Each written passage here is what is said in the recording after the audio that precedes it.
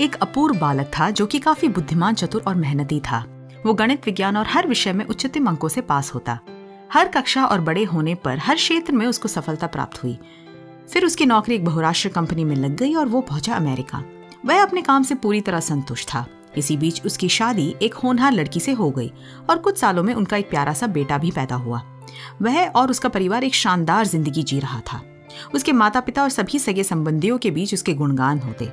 सब कुछ अच्छा ही चल रहा था कि अचानक एक दिन उसने अपनी पत्नी, बेटे और फिर अपने आप को मार दिया। जिस किसी ने यह खबर सुनी, उन्हें अपने कानों पर यकीन ही नहीं हुआ।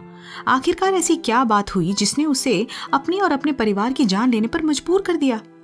इस हादसे के कुछ दिनों बाद कैलिफ़ोर्निया नैदानिक मनोविज्ञान संस्थान ने इस मामले पर जाँच करना शुरू किया। जैसे जैसे वो तहकीकात करते गए, उन्हें पता चला कि हत्या के कुछ हफ़्ते पहले उसकी नौकरी छूट गई थी। उसकी शान और शौकत और अभिमान पर यह बात काफ़ी हावी हो रही थी।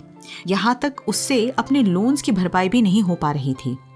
जिसने बचपन से लेकर अब तक केवल सफलता ही प्राप्त की, उसके लिए यह असफलता झेलना बिल्कुल नामुमकिन था।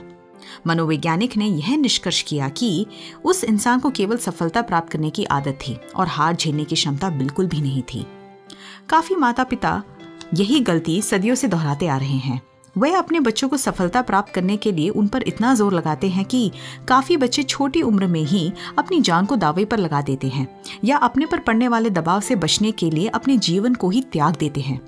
ये ज़रूरी है कि हम सफलता पाने के लिए अपने बच्चों की सहायता करें, मगर जब उसका विपरीत हो तो उन्हें दिलासा देकर असफलता का सामना करने का भी हौसला दें।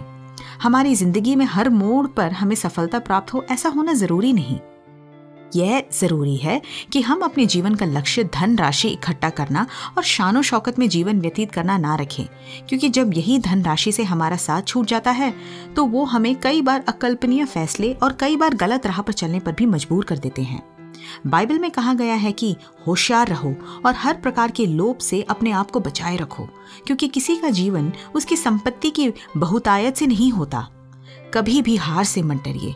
मगर हर परिस्थिति में प्रभु परमेश्वर के गुणगान और प्रार्थना के साथ अपनी मंजिल को समझे और उसकी तरफ़ चलने का प्रयास बनाए रखिए।